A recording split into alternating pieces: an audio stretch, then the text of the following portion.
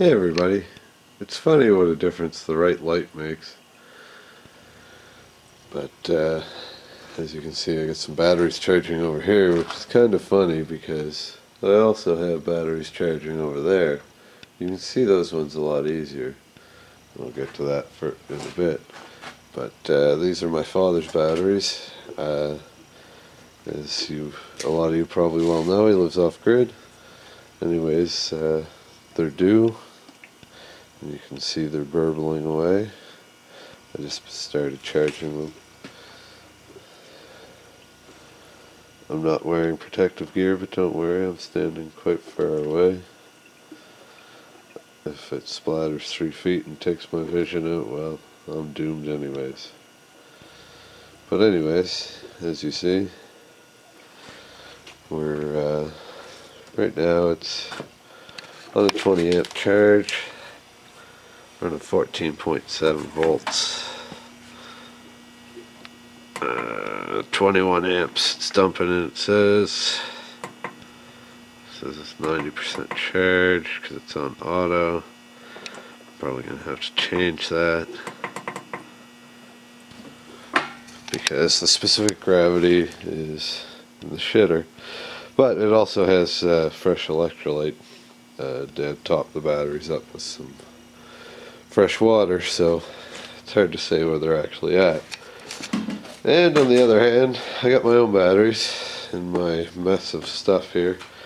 My garage was so clean hours ago, but I've been bringing in everything from outside, well, it's turning into a clusterfuck again. Um, but I got these batteries here. Uh, that one there is my tractor battery.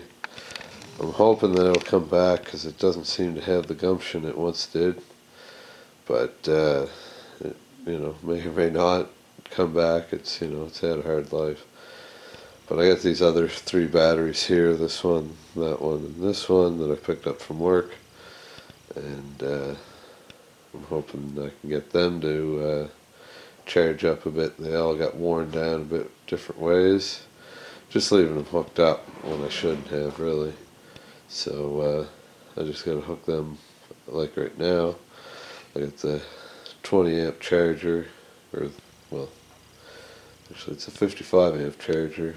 It's got the start option, but uh, regardless, it's uh, just on the 2 amp setting on a trickle charge. But I have it charging this one and that one, and I'm going to charge them up, you know, up for a few days leave them sit for you know probably two three days on this charge. And then uh, Wednesday this is Sunday night you know Wednesday or Thursday I'll uh, switch them up to the other batteries and then I'll check them check their specific gravity. And if it's not high enough then uh, I'll look at uh, giving them a little higher voltage and uh, playing the game of trying to rejuvenate them a little bit but I don't want to let them down because the weather's getting colder and uh, if you let your batteries down this time of year uh, they'll never come back next year. Oh yes, and today I didn't film it, but uh, I changed myself a tire, a truck tire by hand. Um, I think I showed in another video that I got some new rims for my truck. Well, one of them was off the rim, and that was this one. Uh, the bead was broke and uh, it was flat and I don't know I just wanted it you know more functional. So uh, I popped on uh, a tire I had that happened to be the exact same size sitting outside. And it happened to work out great except the valve stem leaked. All I used was those two things there. The big thing was was the bead was already broken. But uh, it seemed to seat up fine and everything. It wasn't that big of a job. You can even see the prints there from where I did it which is kind of neat. It was ne never something I expected to do uh, this weekend, that's for sure. I just kind of decided to do it, and hey, you know, I did that tractor tire. If I can do a tractor tire, I should be able to do a little truck tire, and sure enough, it's not that bad, you know. I've done worse, that's for sure. Like a tractor tire. Anyways, guys, doesn't this white wall make a huge difference?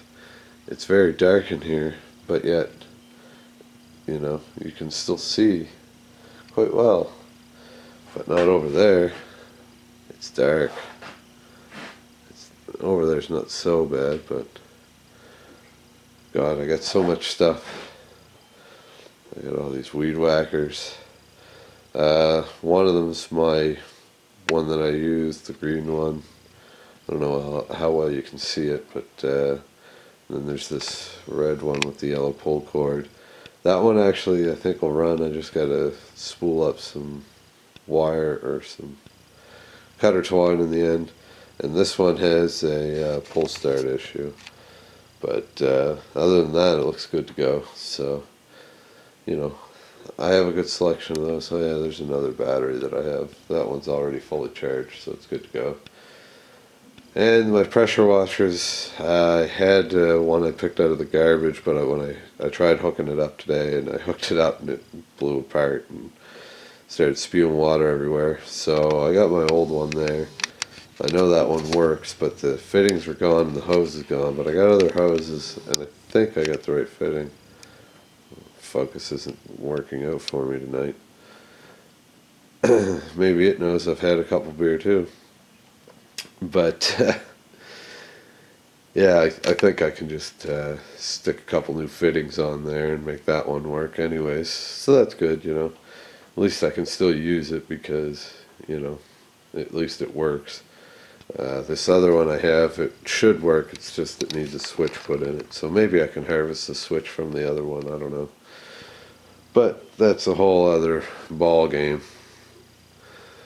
But anyways, I just thought I'd th show you some show up stuff and how much a difference. I should even throw a fresh coat of paint.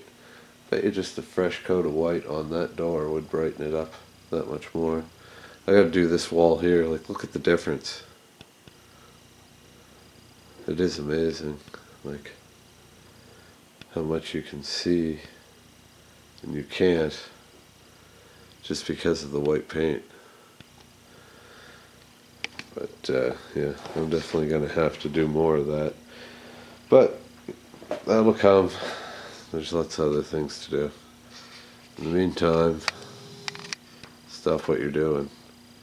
Hit the subscribe button and keep watching my videos or else I'll keep zooming at the stop sign indefinitely and you'll become one with it.